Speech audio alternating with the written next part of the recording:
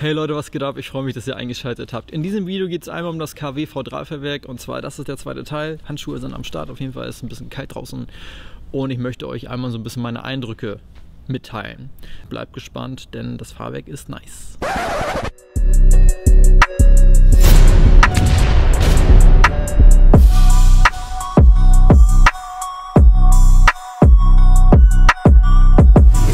Erster Stelle möchte ich einfach mal hier in dem Video auf die Stärken des KW V3 Fahrwerks eingehen. Und zwar, was ich richtig, richtig gut fand, ist einfach, wo und in welchen Situationen sich die Verbesserung eingestellt hat. Die deutlichste und spürbarste Verbesserung ist einfach, ganz einfach gesagt, wie geil, durchgängig, aufrecht der Kontakt zur Straße bleibt. Egal in welcher Situation. Das ist eigentlich so der Hauptframe für ja, was das KW V3 halt so ausmacht. Also, das bedeutet, in welchen Situationen punktet das KW V3 am meisten? Zum Beispiel Autobahnauffahrt oder Landstraßen, aber jetzt nehmen wir jetzt Autobahnauffahrt, sportlich aufgefahren, Richtung Limit, dann hast du am besten noch ein paar Schlaglöcher drin und du fährst wirklich schon um die Kurve und bist auf letzter Rille unterwegs. Und dann hat die Straße Unebenheiten und irgendwelche Hubbel und irgendwelche Löcher und irgendwie total schlecht gemacht die Straße.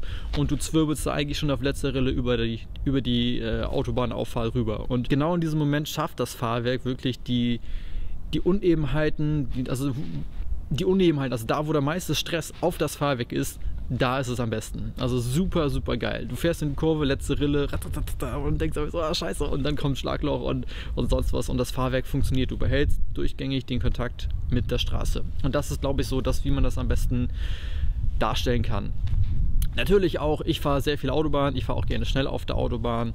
Alles jetzt, was ich euch erzähle, ist mit dem Standard-Setup, also Auslieferungs-Setup und ich, du fährst auf der Autobahn, fährst 250 und du hast dann einfach eine Bodenwelle. Du kennst manchmal diesen Schlag, der ein bisschen so einmal so reinballert oder auch eine, eine, mehr, eine heftigere Bodenwelle ist. Ihr kennt das vielleicht von eurem M-Fahrwerk oder Serienfahrwerk, wenn ihr diesen Zustand habt, dass einfach bei euch im Display dann die gelbe Lampe angeht. Das heißt, der Reifen hat den Kontakt zur Straße verloren, hat durchdrehendes Rad gehabt und das hat der DTC-Sensor erkannt und dachte so, oh, oh, oh, und dann äh, geht aber die Fahrt normal weiter. Das ist natürlich auch gerade bei 240 km/h oder bei Topspeed-Fahrten natürlich dann nicht ganz so nice.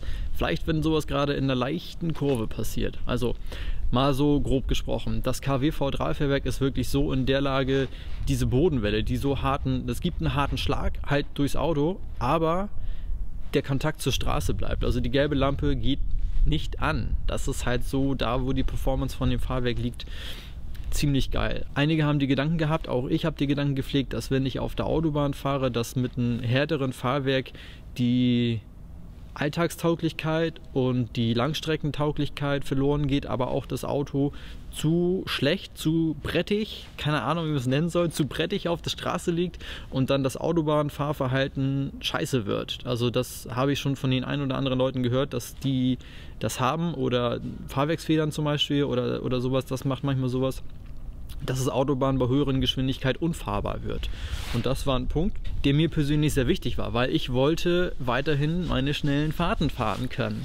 Das Fahrwerk kann das. Also das Auto liegt wirklich ruhig auf der Straße.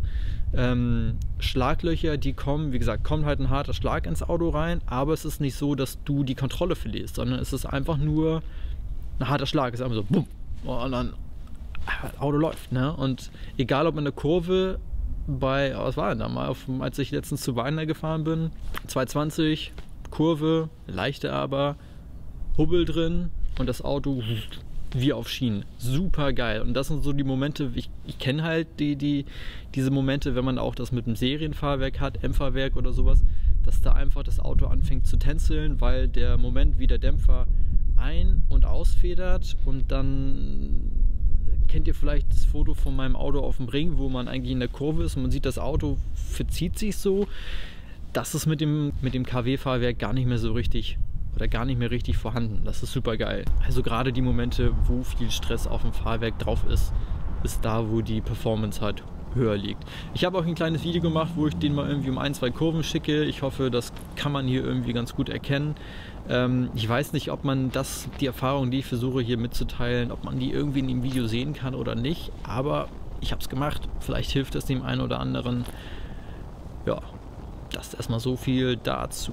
Wo noch ganz gute Komponenten sind, sind einmal Höhe und Alltagstauglichkeit. Also ich habe mein Fahrwerk jetzt eingestellt auf der mindesten, maximalsten Minimalhöhe. also so tief wie es geht, ohne eine Einzelabnahme zu machen. Ist in meinem Fall jetzt, glaube ich, 3,25 äh, Mitte Radkaste, Oberkante, vorne hinten 3,25 jeweils. Von der Tiefe finde ich es okay. Ich hätte gern wirklich noch so einen halben, halben Zentimeter, vielleicht noch tiefer. Ähm, ich habe aber auch am Anfang ein bisschen rumprobiert, auch mal ein bisschen tiefer gebaut, also ein bisschen tiefer geschraubt, bin mal eine Runde gefahren, so ein paar Tage und dann wieder hochgeschraubt. Und ich merke tatsächlich, dass die Einstellung auf 325 vorne hinten tatsächlich die beste Performance noch mit dem Fahrwerk gebracht hat. Also ich bin auch mal runtergegangen, wirklich, dass er vorne voll eingetaucht war und äh, da war es auch so, dass einfach ich gemerkt habe, dass das Federverhalten auf kleinen Schlaglöchern sich auch schon geändert hat. Also Gullideckel, kleine Unebenheiten, hat das Fahrwerk nicht mehr so viel Federweg gehabt, um sie halt so nice wegzubalancieren, sage ich jetzt mal, wie es in dem 325er Zustand war. Das war auch für mich so ein Ding. Er hat einfach mehr Komfort in diesem, in diesem Bereich gehabt. Deswegen finde ich das in dem, ja, in, in diesem Bereichsskala ziemlich gut tatsächlich, weil ich habe bis dato noch nichts an der Fahrwerkseinstellung selber geändert. Also es war deutlich zu spüren, als ich vorne deutlich tiefer war, also ich glaube 310 oder, oder sowas, ich war vorne wirklich tief, dass der Komfort, der Restkomfort und die, die Federagilität des Stoßdämpfers vorne nicht mehr so gut war wie mit der aktuell eingetragenen Höhe, also mit der 325er äh, Radmitte Oberkantenhöhe. Deswegen finde ich das Setup jetzt eigentlich echt ziemlich gut. Ja, was kann ich noch erzählen? Ich bin mit dem Fahrwerk nach Bayern runtergefahren zu Wagner. Ich habe vor Weihnachten noch eine Interviewreihe mit Wagner gemacht und da habe ich auch vor der Fahrt nochmal eine Woche das Fahrwerk nochmal weicher gestellt. Ich habe erstmal zwei Klicks gemacht ähm, bin dann gefahren und habe dann nochmal einen dritten hinterhergelegt. Also ich bin jetzt insgesamt vorne, hinten drei Klicks weicher als Auslieferungszustand. Dieses Setup finde ich ziemlich nice. Es ist tatsächlich so, in Hamburg gibt es viele schlechte Straßen und viele kleine Bodenwellen bzw. Bodenunebenheiten oder auch äh, die Fahrbahnmarkierung. Also es war der Zustand, dass die Fahrbahnmarkierung oder die kleinen Unebenheiten als ziemlich harten Schlag ins Auto übertragen worden sind aber es war, ja, wie soll ich sagen, es war nicht so schlimm. Oh, jetzt fliegt die Taube. Es war nicht so schlimm, aber es ist einfach auf Dauer, dachte ich mal mit der Zeit so, es war schon echt ein gutes Fahrgefühl, aber dann für eine lange Autobahnfahrt fand ich das auch schon angenehmer, dann drei, halt mit drei Klicks offen zu fahren, weil auch Autobahnen zum Teil äh, Boah, ab Frankfurt, Katastrophe, ey, was ist das für eine Autobahn? Wahnsinn, da ging gar nicht. Da war ich froh, dass ich mein Fahrwerk ein bisschen weiter, weicher gestellt hatte, sonst wäre ich die ganze Zeit im Auto so rumgeflogen. Ähm, ja, was kann ich euch noch erzählen? Ich überleg mal. Ach ja, also der Zustand drei Klicks offen finde ich für den Alltag, für äh, halbwegs schlechte Straßen und Autobahnen und Schnellfahren ist ein relativ guter Kompromiss. Es ist immer noch straff. Es ist aber nicht so, dass, die, dass man die Fahrbahnmarkierungen, wenn man drüber fährt, irgendwie doch mehr merkt, sondern die werden jetzt leichter weggebügelt. Was ist mir noch aufgefallen? Und zwar, wenn klingt nach einem V8 was mir noch aufgefallen ist, wenn man an die Ampel ranfährt und bremst, dass das Auto ein bisschen mehr nachfedert. Das war vorher nicht so. Ich weiß nicht. Das ist wahrscheinlich dann. Ja, das ist mir jedenfalls auch aufgefallen. Stört mich nicht. Ist halt so, wie es ist. Gehen wir noch einmal auf die Höhe drauf ein. Ich habe ja 325 mm von der Radmitte zur Kotflügelunterkante. Und mit der Alltagstauglichkeit und der Höhe muss ich sagen, also wenn man an Bordstein parkt hier in Hamburg, Katastrophe. Also eigentlich parke ich jetzt immer so, ein, ja, so 20, 30 Zentimeter bevor der Bordstein anfängt, weil sonst ist die Stoßstange hier unten das dritte Mal ab. Ich habe mir die schon zweimal abgefahren mit M-Fahrwerk hier in Hamburg. Das geht auch, deswegen muss man hier schon aufpassen. Bezüglich Aufsetzen, äh, ja, habe ich einmal unglücklich in Berlin kurz vor Weihnachten im Parkhaus aufgesetzt. Das war jetzt das einzige Mal, war aber auch ein ziemlich ekliger Winkel irgendwie. Aber im Großen und Ganzen so hier in Hamburg und äh, wenn ich mal irgendwie hier Auffahrten und Einfahrten hoch und runter fahre, macht es überhaupt keinen Unterschied. Also das passt alles bisher. In meine alte Garage würde ich aber nicht mehr reinkommen, aber die gibt es nicht mehr. Von daher passt das schon. Ja, was natürlich noch sehr entscheidend ist, man hat natürlich deutlich höhere Kurvengeschwindigkeiten dadurch, durch, dass man das KWV3 hat. Also wenn man die ein, zwei Kurven kennt, die man kennt, die man auch mal ein bisschen flotter fährt oder Autobahnauffahrten, da merkst du schon so, oh hier, das ähm, normale Fahrwerk schon längst äh, die Grätsche gemacht oder wäre ausgestiegen. Gerade in den Momenten, wo halt sehr viel Stress aufs Fahrwerk draufkommt. Also eingetaucht in der Kurve, äh, am Limit eigentlich schon gerade, dass die Reife schon leicht anfängt, kurz vorm Quietschen zu sein und dann Schlagloch und eine Unebenheit und irgendwie zwei verschiedene Asphaltsorten auf einmal links, rechts und geriffelt und all so ein Quatsch auf einmal. Da ist das KWV3-Fahrwerk einfach da und bringt einfach deutlich mehr Sicherheit in dieses ganze Gefühl rein. Und da liegt genau die Stärke von dem Fahrwerk im Vergleich zum M-Fahrwerk. Ein M-Fahrwerk wäre da ausgestiegen. Das hätte das nicht so ruhig bewerkstelligen können, wie du einfach im KW-V3 die Kurve ballerst und dadurch sag ich mal, durchfliegst, aber weißt, jo, das Fahrwerk regelt das, danke Fahrwerk, das läuft schon irgendwie. Und das ist eigentlich ein ziemlich, ziemlich großer Benefit, den eigentlich das Fahrwerk mit sich bringt. Ich sage, Track Events möchte ich noch fahren, bin ich noch nicht gefahren. Ich bin derbe gespannt, wie es ist, aber gerade aktuelle Zeit, ihr seht ja, wie viel hier gerade los ist und zwar nichts. Ähm, ich bin einer der wenigen, glaube ich, der auf Tour ist. Also ähm, werde ich sehen, ob es irgendwelche Track-Events jetzt demnächst noch geben wird. Ich bin natürlich gespannt. Genau, ich habe mir auch noch neue Reifen bestellt und zwar die Michelin Pilot Supersport äh, rundum 225er. Aus folgendem Grund, ich finde aber das Fahrverhalten, wenn ich meine Winterreifen, die rundum 225er sind, agiler. Also auf der Hinterachse ist mehr Spiel drin. Das Auto ist einfach nicer, um die Kurve zu werfen. Und die Pilot Supersport haben natürlich genug Grip weil die echt gut kleben, um halt dann auch die, äh, ja, die, die Leistung auch auf die Straße zu bringen. Das war ein Kompromiss. Ich bin gespannt auf das neue Fahrverhalten. Noch sind meine, wo ist mein Finger? Noch sind meine alten Dunlops drauf. Ja, ich hoffe, ich habe soweit alle Erfahrungen und alle Erklärungen für euch bringen können und ihr habt keine offenen Fragen. Wenn ihr offenen Fragen habt, bitte in die Kommentare schreiben, dann werde ich das auch noch beantworten. Ich habe aber noch eine Sache vor und zwar möchte ich mal das Fahrwerk komplett knüppelhart stellen oder komplett weich und das mit Druck und Zugstufe. Ähm, mein Kofferraum ist immer noch nicht zusammengebaut. Ich habe das noch alles offen stehen, das habe ich noch mal vor.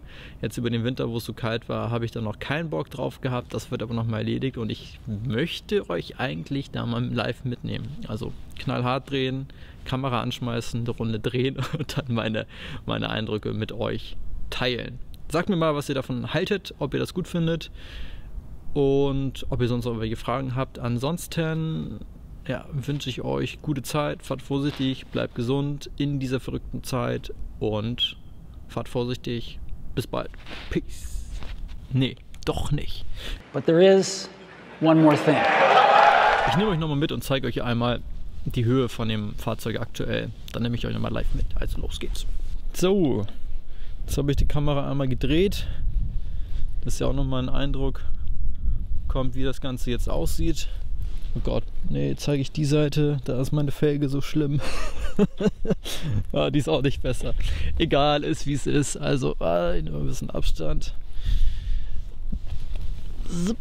Das ist jetzt die aktuelle Höhe. Ich gehe mal ein bisschen näher ran. Also, das ist jetzt vorne, hinten. Äh, Radmitte Oberkante 325 mm. Also man sieht, kriegt ihr noch ein bisschen. Warte, kriege ich das hier scharf? Also hier ist noch ein bisschen Platz, aber es ist tatsächlich so. Ah, ein bisschen kann da noch runter. Ich habe gerade meine Handschuhe im Mund. also ein bisschen könnte da noch runter, so. So bis hier wäre perfekt. Also mein Fingernagel oben. Also so ein Stück noch. Aber für den Moment erstmal ganz nice. Ähm, ja, so sieht es jetzt vorne aus. Das ist so die Höhe, die ich vorne habe. Ist ganz nice. Das ist hinten. Ich habe zum Glück keinen Hängerarsch. Das ist ja ein Problem bei BMW. Das kennt ihr der ein oder andere. Das sieht für mich ganz vernünftig aus. auch ist es bei mir so, dass ich hinten jetzt immer ein bisschen Beladung drin habe mit Kamerazeug und sowas. Aber das ist der aktuelle Zustand. Ich muss sagen, das gefällt mir so ganz gut. Tiefer kann man immer machen, aber so ist das eigentlich eine ganz gute Kombination für die für den Alltag hier in Hamburgo, wo man immer wieder Schlaglöcher, Unebenheiten und alles hat. Und demzufolge ist das mein Setup. Ich zeige euch noch einmal meinen Kofferraum. Oh Gott, den wollt ihr nicht sehen. So, das ist einmal mein Kofferraum, also immer noch keine Verkleidung drin. Äh, ja, so sieht das Ganze hier einmal aus. Jetzt zeige ich das mal. Hier Navi-Zeug. Und das sind hier die Verstelldinger, um die Druckstufe noch einzustellen. Das ist richtig, glaube ich. Äh, ja. Und die andere Geschichte stellt man dann von unten ein. So, ja, dann hoffe ich, dass ich für euch jetzt alles einfangen konnte und dass ihr so einen ganz guten Eindruck bekommen habt. Was ganz cool ist, man kann das Fahrwerk wirklich unterwegs einstellen. Das bedeutet, so vorne als auch hinten, wenn man eine Decke dabei hat, das wollte ich euch nochmal mitteilen, muss man einmal vorne, ich mache mal hier, sieht man einmal, einmal Rad einschlagen, dann kann man sich unten drunter bücken, ein bisschen unter drunter legen. Wenn man eine Decke dabei hat, ist natürlich so nice, dass man die Klamotten nicht schmutzig macht. Und dann kann man das einfach einstellen nach Lust und Laune. Und das geht hinten äh, genauso, da musst du gar nichts machen. Da legst du dich einfach hier drunter, zack, steckst da die Nase und äh, dreh dich, du Kackding. So, normal.